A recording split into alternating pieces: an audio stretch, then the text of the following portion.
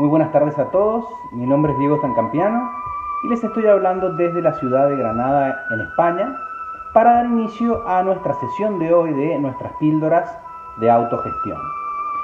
Hemos estado hablando ayer de cómo organizarnos de una forma eficiente y empezamos a hablar de esta dieta mental en cinco pasos. Ayer estuvimos viendo los fundamentos para desarrollar una actividad mental que la hagamos de forma más eficiente y que nos ayude a ser mucho más productivos en nuestra vida. Y hoy vamos a empezar a desarrollar los tres primeros pasos de esa dieta, que son el desayuno, la media mañana y el almuerzo. Porque si bien es una dieta mental y emocional, está relacionado con las comidas que se hacen normalmente en una dieta. Así que si les parece vamos a dar inicio a la presentación de hoy. Todas estas actividades las, las pueden consultar en mi Facebook Diego Estancampiano o en este canal de Metafísica en Granada. Entonces, la metafísica aplicada tiene como principal objetivo que seamos felices, manifestando una mejor versión de nosotros mismos. Y por eso es muy importante preguntarnos cómo puedo organizarme para ser más productivo. Es ahí donde entra esta dieta mental en cinco pasos. Hoy vamos a ver el desayuno mental, vamos a ver la media mañana mental, vamos a ver de qué se trata, y también vamos a ver el almuerzo o la comida. Todo esto está en el libro de Metafísica y Neurociencia, que lo pueden adquirir a través de internet en la página de la metafísica.com, en la sección de ebooks, o directamente a través de Amazon. ¿Y de qué se trata? Se trata de que en vez de ir en contra de nuestra mente y nuestro cerebro, organicemos todos nuestros procesos, toda nuestra rutina a favor de la corriente, para ser verdaderamente más productivo en todo lo que hagamos. Entonces, Stanislao Bachrach nos decía que una mente no planificada es una mente ociosa y poco efectiva. Entonces, esta dieta mental en cinco pasos nos sirve para planificarnos. ¿Cuáles eran las siete claves para una dieta efectiva? Habíamos visto que lo primero que teníamos que tener en cuenta es que teníamos que hacer un cambio progresivo. No teníamos que hacer todos los cambios de golpe, teníamos que ir implementándolos poco a poco. Luego también negociar y asignar partidas. Habíamos hablado de hacer las cosas de una forma en que todo fuera equilibrado. El punto número tres era reflexionar. El punto número cuatro, no identificarnos con aquello que queremos cambiar. El punto número 5 era seleccionar. En este caso seleccionar, estábamos hablando de seleccionar nuestras emociones y nuestros sentimientos, así como seleccionamos los alimentos en una dieta. Hacerlo mejor, no dejar de hacer las cosas que nos gustan, sino que hacerlas de una mejor manera y supervisarlo todo. Y entonces directamente vamos a pasar de lleno a esta dieta mental que como toda dieta tiene cinco comidas o cinco pasos el desayuno, la media mañana, la comida, que hasta ahí vamos a ver hoy, la media tarde y la cena, que la vamos a ver en la píldora de mañana. Entonces, una vez que se conoce el funcionamiento del cerebro y cómo la mente actúa a través de él, podemos organizar nuestras tareas para ir a favor de la corriente y de esta forma ser más eficientes. ¿Qué es ser más eficientes? Es lograr mejores resultados con menos esfuerzo y menos energía. Y para esto es muy importante lograr el equilibrio mente, cerebro y cuerpo, que es lo que estamos hablando en todas estas píldoras. Entonces, en el desayuno que dicen que es la comida más importante, ¿por qué yo he puesto que es el momento del córtex prefrontal? ¿Y por qué es que vamos a meditar, reflexionar y planificar? Ahora lo vamos a ver. En el desayuno, ¿por qué es importante levantarse temprano? Ahora lo vamos a ver. Siempre se ha dicho está muy bueno madrugar, hay que levantarse temprano y empezar el día temprano. Y es sencillamente porque en las primeras horas de la mañana son cerebralmente más productivas. Y eso tiene una razón fisiológica y tiene una razón científica y médica. Y es que a la energía de la cena, cuando nosotros tomamos una cena, aunque sea pequeña, le sumamos el oxígeno y la glucosa que aportamos al cerebro con el descanso y al levantarnos se le suma el desayuno. Entonces tenemos mucha glucosa, el cerebro está descansado, está oxigenado para empezar la tarea. Entonces ustedes preguntarán, bueno, pero ¿qué es levantarse temprano? Hay algo que se conoce como la hora de carga. Y es así por decirlo, es cuando ustedes enchufan y cargan, por ejemplo, el móvil o el celular o el ordenador, llega un momento donde la batería está completamente cargada. Esa hora de carga pasa lo mismo con el cerebro. Es el momento en que el cerebro está listo para el trabajo y tiene que ver con el metabolismo de la, melatonina, que es la hormona del sueño, en cada una de las personas. Entonces, habrá personas que necesitan dormir menos horas y su hora de carga será las 5 de la mañana y otras que su hora de carga será las 7 o las 8 o las 9, de acuerdo a la fisiología y a los ritmos de cada uno. Generalmente, ¿cuál es la hora de carga? Esa hora donde ya, aunque no pongas el despertador, ya te despiertas solo y ya quieres empezar el día. Es el momento de empezar a ser productivo. Entonces, levantarse temprano. ¿Y qué vamos a hacer a la mañana? Ahora yo les voy a hablar someramente de tres tipos de meditación.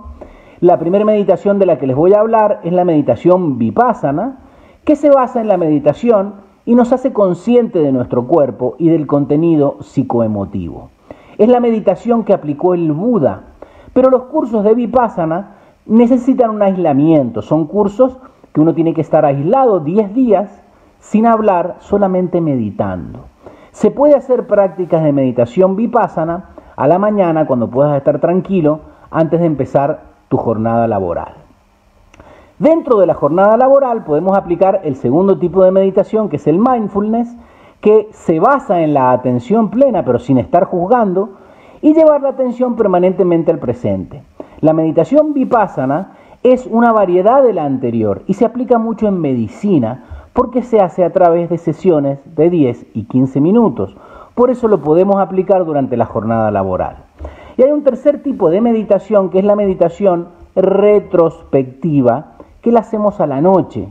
A la noche es el momento de analizar de forma inversa, por eso se llama retrospectivo. Empezamos de las últimas horas de la noche a analizar hacia atrás y llegamos al momento del desayuno en que nos levantamos ese día.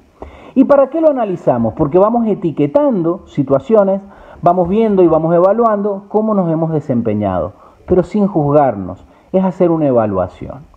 Entonces, estos tres tipos de meditación, hablamos que la primera era el vipassana. ¿Qué quiere decir vipassana? Es la postura de observación. A la mañana, ¿qué podemos observar? ¿Cuál ¿A qué vamos a dedicar? ¿A qué va, ¿A qué vamos a aplicar nuestra atención y nuestra meditación? A cómo ser más eficientes. Vamos a observarnos nosotros mismos. Yo cada vez llego a la conclusión de que si nosotros estamos trabajando en ser más eficientes, no tenemos tiempo en estar viendo qué hacen los demás. Las personas que tienen mucho tiempo para ver lo que están haciendo los demás, están perdiendo ese valioso tiempo en mejorarse a sí mismos. Entonces, en el desayuno, ¿qué vamos a hacer? Vamos a planificar, porque es donde el cerebro tiene más glucosa, y vamos a hacer los planes para el día, para la semana o para, depende cómo nos organicemos. Luego vamos a escribir lo que planifiquemos. Recordemos que un hábito muy importante para el cerebro es escribir todos esos planes. Y el tercer hábito es visualizar. Vamos a visualizarnos desarrollando ese plan que hemos escrito previamente. Esto genera en el cerebro una actividad neural positiva y nos enfoca en todo aquello que tenemos que hacer durante todo el día. Es como que nos programa para aquello que tenemos que realizar. Es muy importante ir em, planificando todo lo que queremos hacer. ¿Qué quiero? ¿En qué tiempo lo quiero hacer? ¿A quién me voy a dirigir? ¿Cómo lo voy a hacer? ¿A qué público? ¿Qué alcance tendrá lo que quiero realizar? Aunque tú estés eh, en tu casa, que estés jubilado, que estés con tu familia, tienes que hacer una mínima planificación, no para estar esclavo de ella, pero sí para orientar al cerebro en lo que tienes que ejecutar. Porque siempre un mal plan es mejor que no tener ningún plan. Porque el cerebro que no tiene ningún plan, a no ser que estés en modo off, que ya lo vamos a ver en la última píldora, cuando tú pones el cerebro en modo off, si tú no le das un plan al cerebro, el cerebro se llena de incertidumbre. Y ahí es cuando fallamos. Entonces, el desayuno es el inicio de la jornada productiva. La jornada productiva comienza con el desayuno, no comienza cuando empiezas a trabajar, comienza cuando planificas tu vida. Y entonces tenemos que plantearnos qué requiere más atención, qué nos requiere más energía. Porque en el desayuno tenemos que priorizar qué voy a hacer primero, qué voy a hacer después. Otra actividad que nos insume mucha energía es recordar algunas cosas lejanas que necesitamos recordar para planificar y también justamente planificar el futuro. Porque ahí se requiere esto mucha energía porque requieren las cinco funciones que realiza el córtex prefrontal, que son comprender, tenemos que comprender la situación en la que estamos viviendo, memorizar algunas cosas, cada vez, cada tarea es una tarea más cara energéticamente para el cerebro. Luego tenemos que recordar, tenemos que inhibir las cosas negativas, los pensamientos negativos que te vienen, las noticias negativas, los recuerdos de los problemas, cuando tu mente quiere ir para adelante o para atrás, tienes que inhibir eso. Y por último, la tarea más cara que es tomar decisiones. A la mañana, cuando tienes mucha glucosa y estás pila, es cuando tienes que decidir. No tomes decisiones a la última hora de la noche cuando ya estás cansado, porque ahí te vas a equivocar, vas a decidir cualquier cosa. Entonces, ¿por qué hay que, ¿por qué hay que hacer esto a la mañana? Porque prestar atención es un esfuerzo cerebral y te requiere glucosa y oxígeno. Por eso estos procesos hay que hacerlos tempranito a la mañana. Y te tienes que dar cuenta que no puedes hacerlo todo. Entonces no puedes sobrecargar, no te puedes planificar a la mañana, hacerte una lista interminable, porque vas a lograr justamente todo lo contrario, ver que no puedes con eso y te vas a estresar. Nunca tienes que sobrecargar y no hay que sobreplanificar. Y esto es vital. ¿Qué vas a planificar a la mañana? Una tarea muy importante. Por ejemplo, ¿qué es una tarea muy importante? Si vas a firmar una hipoteca, si vas a hacer un negocio muy, muy importante, esa es la tarea central del día. Si tienes que coger un vuelo internacional, si te vas a casar. Todas esas cosas son tareas muy, muy importantes. Y tienes que planificar una tarea muy importante. Y después puedes planificar dos tareas menos importantes. Ir a buscar algo al tinte, eh, pasar por el supermercado a hacer una compra breve, dos cositas menos importantes.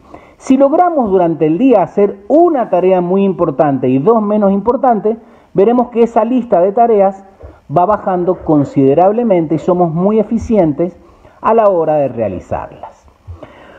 Bueno, ya hemos desayunado, ya tenemos planificado nuestro día o las actividades de la semana, depende cómo nos organicemos, y hay que darnos cuenta en la jornada laboral que no podemos sobrepasar la capacidad del cerebro, que es ese 2%. Entonces hay una ley que dice que la mejor forma de estar en nada es pretender estar en todo. Tenemos que centrarnos, no podemos estar pensando en lo que vamos a hacer el fin de semana, si vamos a ir a montar en moto o en el coche. No podemos estar llevando la atención a todo. Tenemos que estar centrados en lo que estamos haciendo. Porque si no, todas esas distracciones hacen que no seamos eficientes. Y por eso habíamos dicho que ese tipo de meditación, que es el mindfulness, se basa en llevar la atención plena al presente. Ya has planificado lo que vas a hacer, ya has empezado tu jornada laboral y vas a atender una sola cosa por vez, porque no puedes estar sino como esta chica, porque el cerebro ¿qué hace? Está en el ordenador, pero entra un WhatsApp, apaga el ordenador y enciende la tablet. Y después entra una llamada por teléfono, apaga la tablet y enciende el teléfono. Y después la calculadora. Entonces, ese apagar y encender, apagar y encender, hace que estemos con el síndrome de APC. Estamos atentos parcialmente, de forma continua, a muchas cosas y nos hacemos menos conscientes y menos productivos. Pensamos que estamos haciendo muchas cosas, pero en realidad estamos consumiendo recursos muy valiosos porque el cerebro no tiene multitasking. El cerebro no puede hacer muchas cosas a la vez, tú no puedes estar en mil lugares porque desperdicias energía y nada de lo que haces te sale bien. Y llega un momento donde estás tan estresado, atento a tantas cosas, que el cerebro recibe un input, lo que se llama un input, un, estímulo externo de alerta permanente y una situación artificial de crisis constante. Y eso te genera un estrés químico.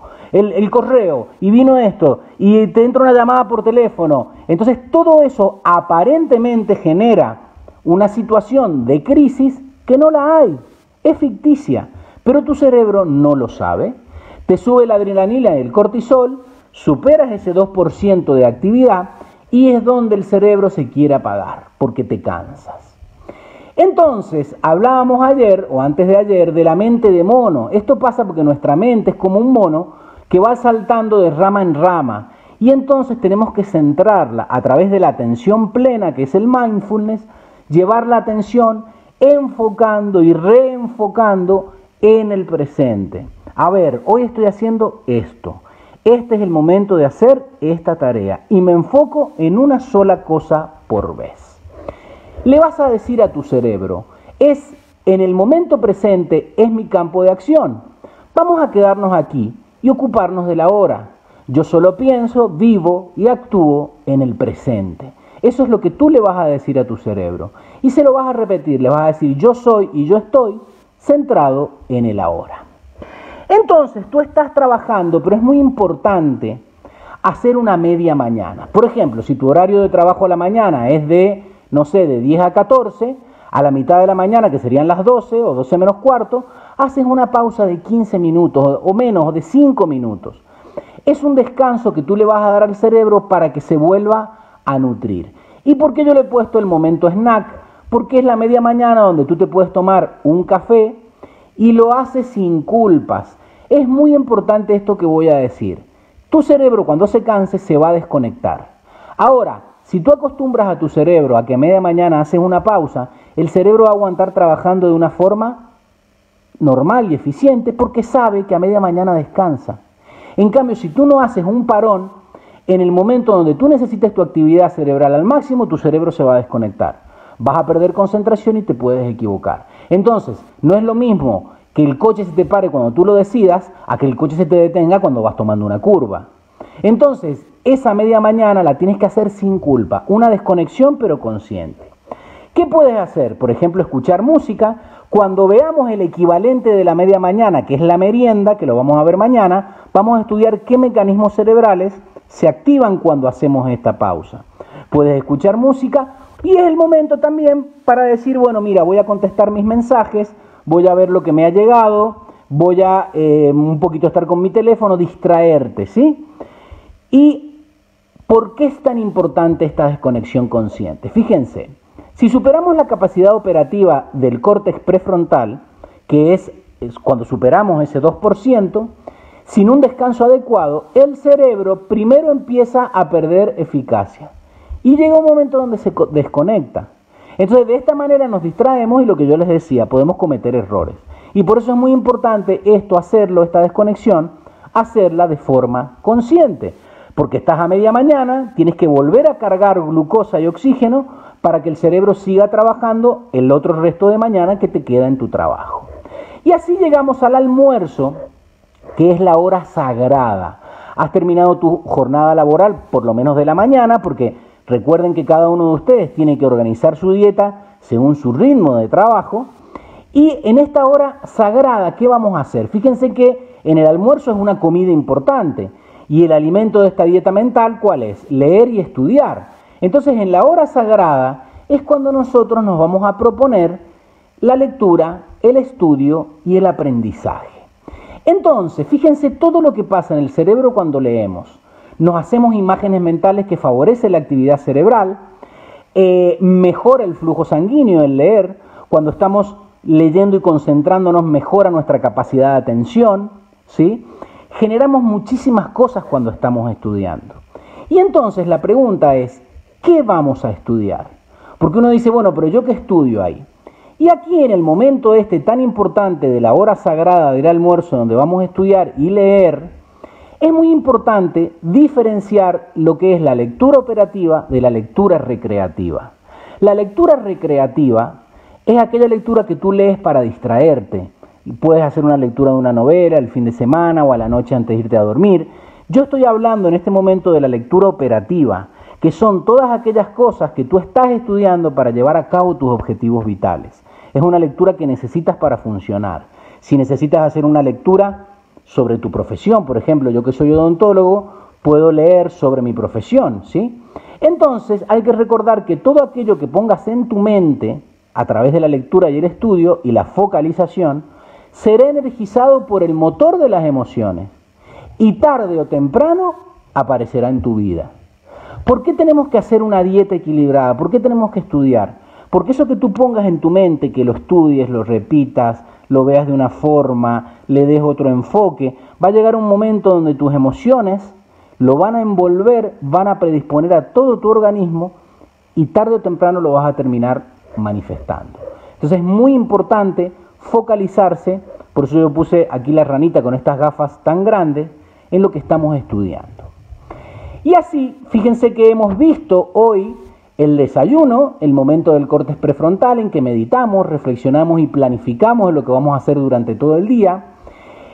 El descanso sin culpa, ese momento snack que nos vamos a tomar a media mañana para recargar pilas y que el cerebro se llene otra vez de glucosa y oxígeno. Y hemos hablado de la comida, del almuerzo, que es la hora sagrada en que vamos a leer, estudiar y aprender para seguir evolucionando en nuestra vida. Mañana, Dios mediante, vamos a ver la media tarde, que es un respiro programado, el momento del córtex lúdico, y la cena, que también es muy importante, porque ahí vamos a hacer la retrospección, el análisis y la evaluación de nuestro desempeño diario. Así que mañana tendremos la píldora 59, que es la merienda mental, y la píldora 60, que es la cena mental de nuestra dieta mental en cinco pasos. Así que espero que les haya sido de utilidad, que se pongan a planificar y a practicar con su dieta y nos vemos mañana para seguir con esta dieta mental. Hasta mañana.